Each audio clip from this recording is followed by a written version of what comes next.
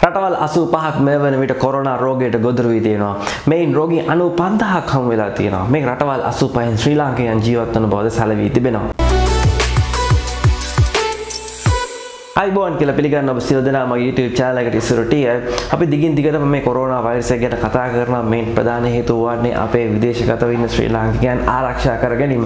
ඉතින් මගේ channel එකේ බොහෝ දෙනෙක් ඉන්නේ විදේශගත ශ්‍රී ලාංකිකයන්.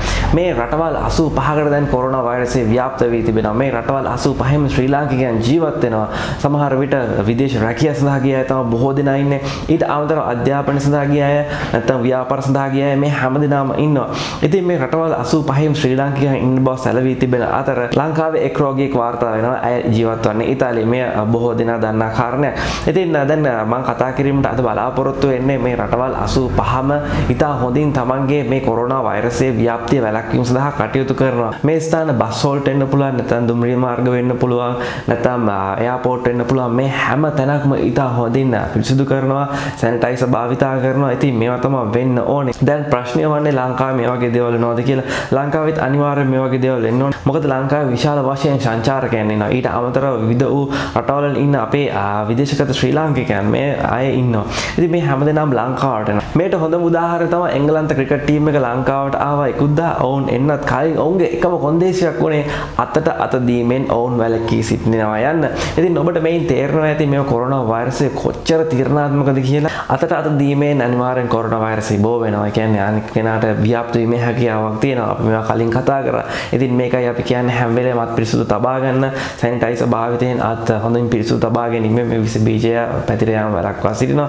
ඉතින් ඊට අමතරව මේ සීතල කාලගුණය තමයි මේ බොහෝ දුරට බලපාන්නේ. ඉතින් උෂ්ණ කලාපයක ඉන්නවා මේ බලපෑමේ ශීඝ්‍රතාවය අඩු වෙනවා. ඉතින් ලංකාවට මේ බලපෑම අඩු බලපෑමක් තියෙන මේ නිසා යන්න බොහෝ දෙනාගෙන් කතා කරනවා. ඉතින් මම ප්‍රාර්ථනා කරන්නේ ලංකාවේ කාටවත් මේ වැළඳෙන්න එපා කියලා ඒත් එක්කම අපේ රජයන්ට අදාළ පාර්ශවයන්ගෙන් ඉල්ලා සිටිනවා. හොඳින් පිරිසිදු කර තබා ගන්න එයාපෝට් එක ඉතාමත් තීරණාත්මක ස්ථානයක්. එයාපෝට් එක සහ අනිකුත් පොදු ස්ථාන දුම්රිය මාර්ගය කොටුව දුම්රිය මාර්ගය වෙන්න පුළුවන් මේ හැමතැනම ඉතා හොඳින් පිරිසිදු තබා ගැනීමෙන් මේ වළක්වා ගැනීමේ හැකියාව තියෙනවා. දුම්රියක් හෝ බස් එකක් වුණා මේ ඇතුළට නැග්ගහම මේ බාහිර එහෙම අතපත ගෑමේ සම්භාවිතාවය ඉතාම වැඩි.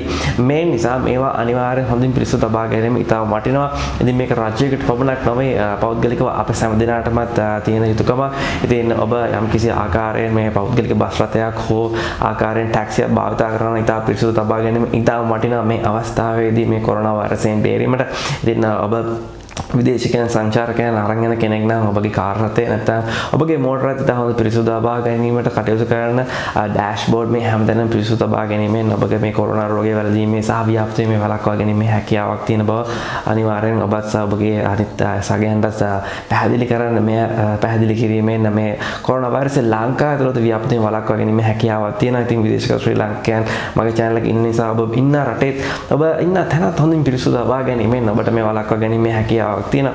මේ නිසා තමයි මේ හැම වෙලෙම විටින් විට තොරතුරු ලැබුණු වහාම ඔබ දැනුවත් කිරීමට කටයුතු කරන්නේ. මොකද අනෙකුත් සියලුම රටවල් ඔබ රටවල් වල ඉන්නකොට ඔබ දකින්න ඇති කොරෝනා වෛරසයට ඕන් මුහුණ දෙන ආකාරය. ඉතින් ලංකාවේ ඒ ආකාරයෙන් මුහුණ දිය යුතුයි. මොකද ලංකාවට බොහෝ දෙනා විදේශ රටවල් වලින් එන නිසා ලංකාව යම් කිසි අවධානමක් තියෙන නිසා ලංකාව මේ ආකාරයෙන් පිරිසිදු වීම ඉතාමත් වැදගත්. ඉතින් මම හිතන්නේ යම් කිසි දෙයක් දිනේදී තව වීඩියෝකින් දැනගත්තා කියලා. එසේනම් වීඩියෝ එක ලයික් කරන්න, කමෙන්ට් කරන්න සහ subscribe කර අපේ channel එකත් එක්ක එකතු වෙන්න. අපිට සුබ දවසක්.